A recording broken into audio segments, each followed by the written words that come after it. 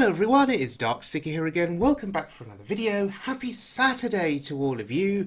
I hope you're all staying safe and I hope you're all keeping well. Today I am playing Murloc Shaman and I'm featuring two different decks. One deck courtesy of Beardyman and one deck courtesy of Boltzmann. Now, You've seen me publish videos on Beardyman decks now for quite some time. You're very familiar with Beardyman. Boltzmann, I've been publishing videos on his decks more recently. Both of these players have one big thing in common. They produce fun off-meta decks that work on the ladder. So we're going to start out with the Beardyman deck first. That's the deck on the left-hand side. And there is one big key card in this deck that really stands out. Can you spot it? It's about halfway through the deck list, costs 3 mana. It's Magicfin. So a 3 cost, uh, 3 attack, 4 health Murloc. After a friendly Murloc dies, add a random legendary minion to your hand. How interesting. So, Magicfin. How competitive is this card? I think that's the big question. Is it more of a fun card or is it more of a competitive card? I'd argue it's more fun. But look, fun is what it's all about ultimately. And the potential to just get a handful of random legendary minions, that's that's quite interesting. It's quite appealing, at least to me.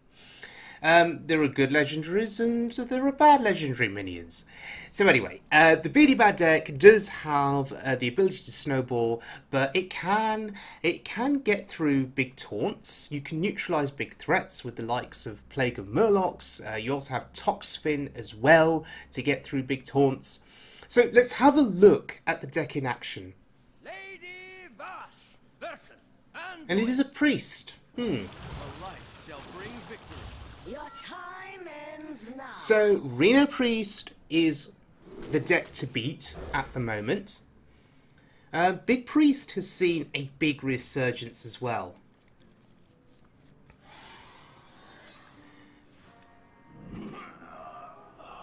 Okay. Well, isn't that interesting? It's C'Thun Priest.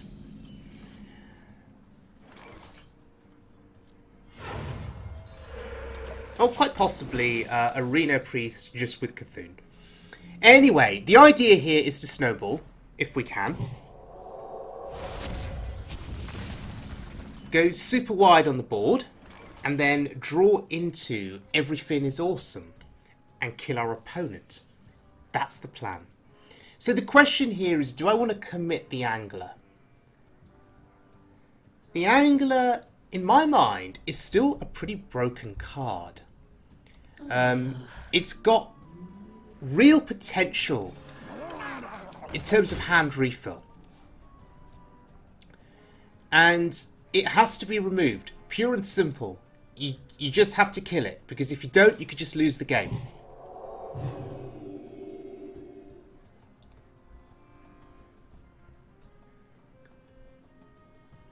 Our opponent is hunting here. Oh, there's Shadow Visions. Okay.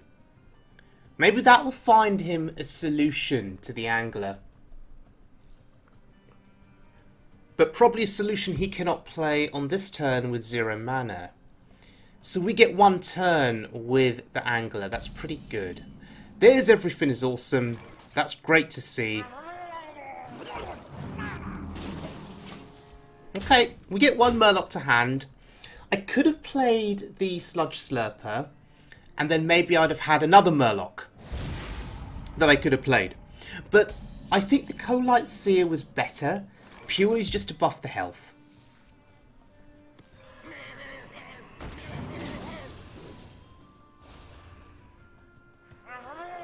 It's a good leveraging of our health. Okay, this is a, a pretty cool board here. The um, the Spirit Walker net us some value.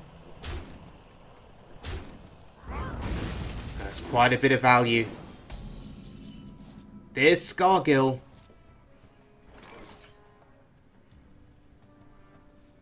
Thinking about Magicfin here.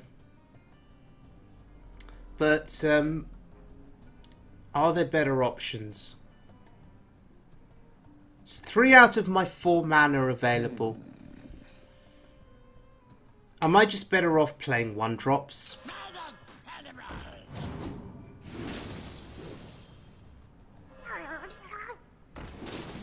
Oh, this is good. We're going wide here. We're going super wide on this board. And the aim is to get Everyfin is awesome down to zero. Now, if I played Magicfin, that wouldn't have been possible. So, this is just better.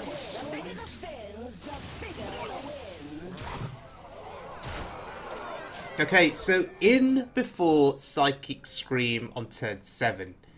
Oh, he top decked that. Of course he did. Of course he did. Oh, wow. The angler survives?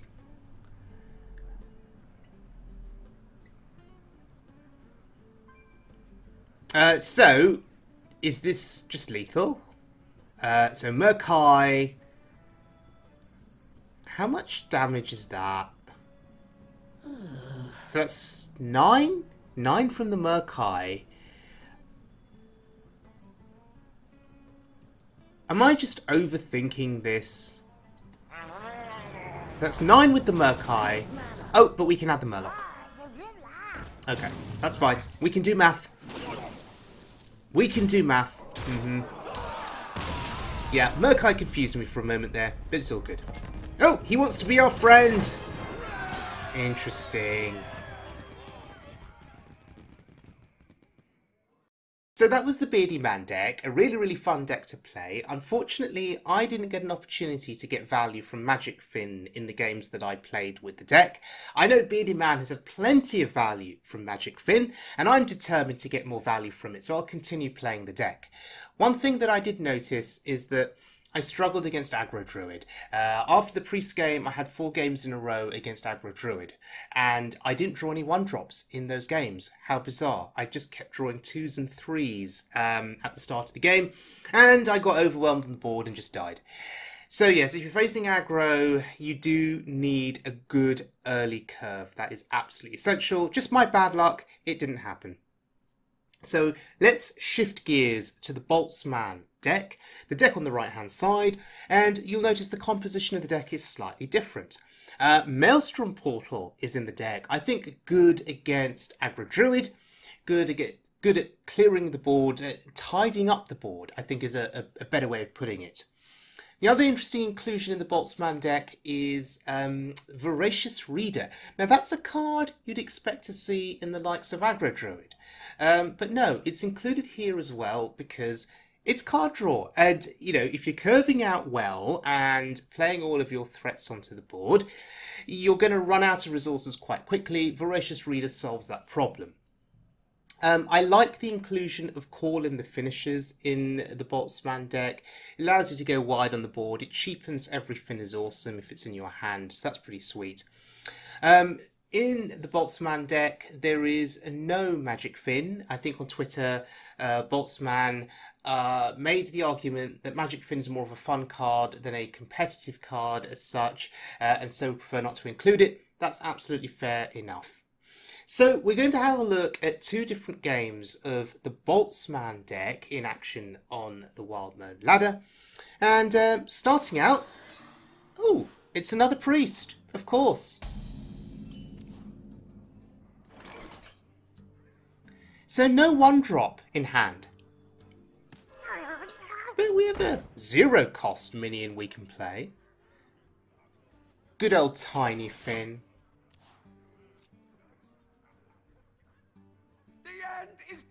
And the end is coming. Maybe not. Maybe not.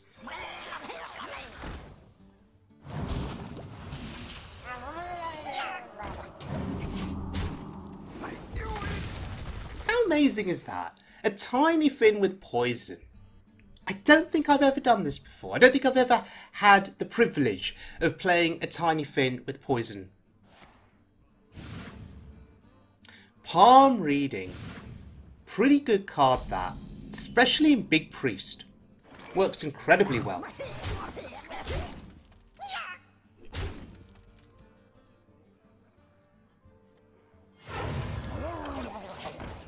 So I'm just going for max board presence here. We didn't get any value from the angler on that turn, but it's fine. May demand an answer here and now. He may ignore the Tiny Finn as a result, if he wants to deal with the angler. I hope you like my invention. No. Heal your face and pass. No. Spirit Lash. Sure. So Murk-Eye or the Megasaur or the health buff? I think the health buff is better here. This is amazing. That's even better.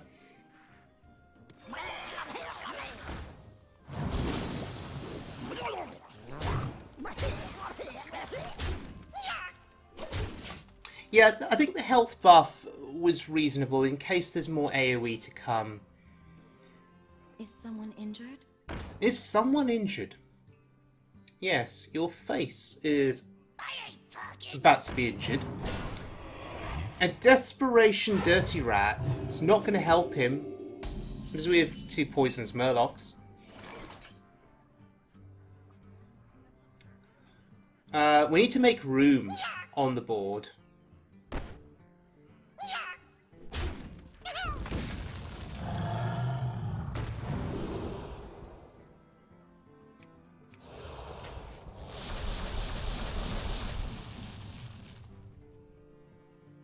Maybe I was hoping for attack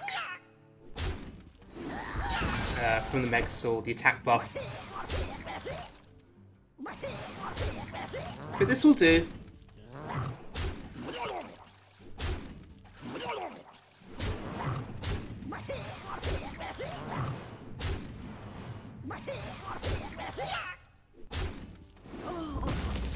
Just trying to push as much damage as I can, as quickly as possible. He could have Reno here. No.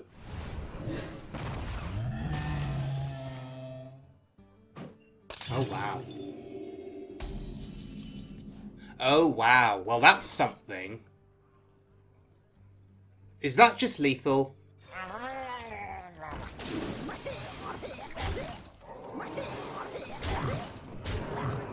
Yeah, that's overkill. Very nice. Very, very nice indeed.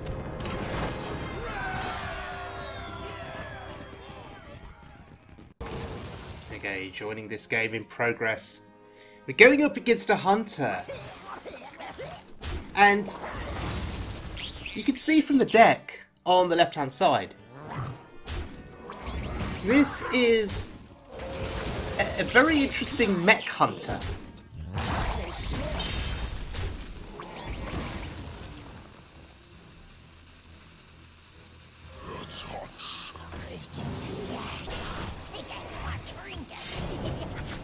Now I thought mech decks had kind of died out. Um, but this hunter, he got off to a really good start with his deck. But we were able to go wide on the board with our Murlocs and contest the mechs. that's painful. But he's trading. That's the key thing. So he has the Voracious Reader, as do we.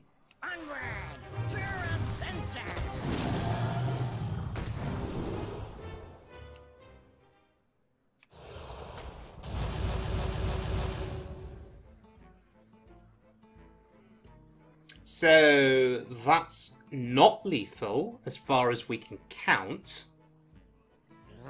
So we trade. Nothing wrong with trading.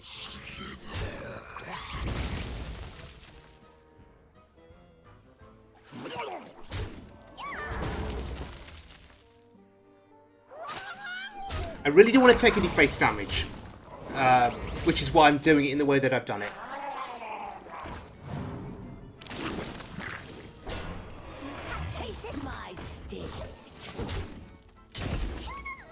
I'm still conscious that a hunter can probably come out with burst from nowhere. So I just want to keep my face as healthy as possible. Take zero risks. And play it really safe. Oh gosh.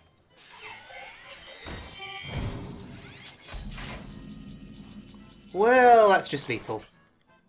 The the fins, the fins, the bigger the win. Serious overkill here.